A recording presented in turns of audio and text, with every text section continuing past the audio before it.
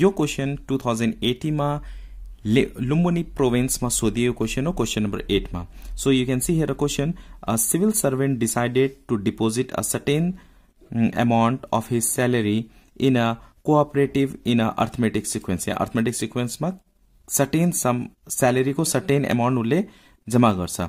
He deposited rupees six thousand in a first month सुरुको महिनामा six thousand deposit गरेको छ। Rupees six thousand one hundred in a second and rupees six thousand two hundred in a third किनभने यहाँ difference equal छ so यो arithmetic sequence नै भयो। And so on number a write the formula to find out sum of the term of arithmetic series sequence so यहाँनिर हामीलाई समको formula लेख्नुपर्ने हुन्छ। सो नम्बर फाइभ एमा समको फर्मुला एसएनको फर्मुला के छ? N by two two a plus n minus one d. समको formula यो भयो okay number b question number बीमा क्वेसनले के भनेको छ यहाँ हेर्नुहोस्। How much amount does he save within a year भनेपछि टुवेल्भ मन्थमा विदिन अ इयर हामीले यहाँनिर एस टुवेल्भ निकाल्नु पर्ने छ किनभने उसले के गरेको छ मन्थली जम्मा गरेको छ। फर्स्ट मन्थमा six thousand second मन्थमा six thousand two hundred third मन्थमा six thousand one hundred and third मन्थमा six thousand two hundred भनेको मन्थली जम्मा गरिरहेछ। सो वान इयर भनेको कति मन्थ हुन्छ? टुवेल्भ मन्थ हुन्छ। त्यही भएर एस टुवेल्भ निकाल्नु पर्ने हामीलाई यहाँनिर। So here what is the value of a is equal to कति छ? फर्स्ट मन्थमा कति जम्मा गरेको छ? Six thousand rupees first term d भनेको कमन डिफरेन्स डिफरेन्स कति छ? Second term minus first term so six thousand one hundred minus six thousand गर्ने।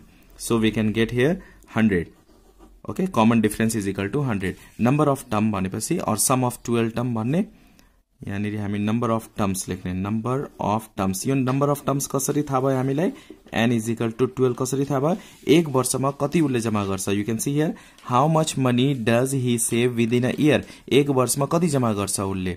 त्यो कोअपरेटिभमा भनेपछि एक वर्षमा बाह्र महिना हुन्छ। त्यही भएर n is equal to twelve भएको यहाँ। अब हामीलाई सम अफ टुवेल्भ टर्म निकाल्नु पर्ने छ sum of twelve terms S twelve S12 is equal to what? Now, Sn को फर्मुला के हुन्छ Sn is equal to n by 2 2a plus n minus 1 d हुन्छ यस अब S 12 को n को प्लेसमा 12 राख्ने सो 12 by 2 2a a. को प्लेसमा a को भ्यालु कति छ 6000 सो इन्टु 6000 प्लस एन भनेको 12 so we can write 12 plus minus one d d को प्लेसमा के राख्छौँ हामी हन्ड्रेड राख्छौँ ओके प्रेयर यो दुईटा डिभाइड गर्ने सिक्स हुन्छ यो मल्टिप्लाई गर्ने. So we can get here twelve thousand plus यो दुईटा सब्ट्राक्ट गर्दा इलेभेन हन्ड्रेड हुन्छ मल्टिप्लाई बाई हन्ड्रेड गर्दाखेरि वान वान जिरो जिरो भयो नाउ सिक्स इन्टु यो दुईटा एड गरिदिने one three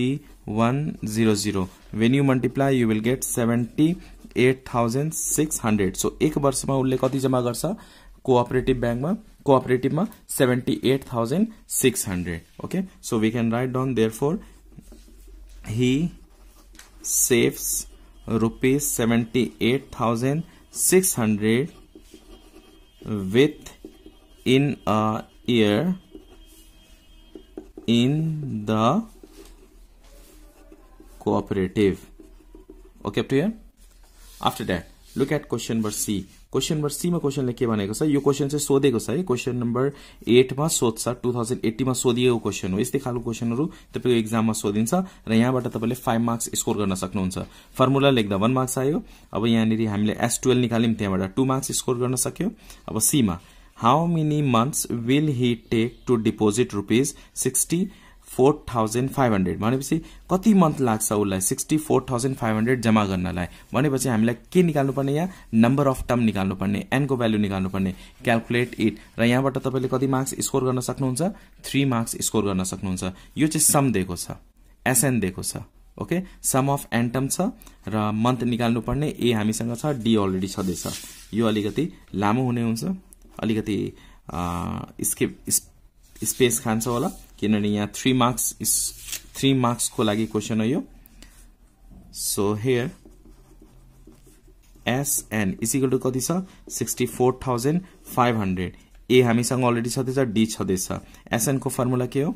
N by two two a plus n minus one d is equal to sixty four thousand five hundred Enco प्लेसमा एनए राख्छौँ n by two two a को प्लेसमा six thousand राख्ने। Minus plus n minus one d को प्लेसमा hundred राख्ने okay?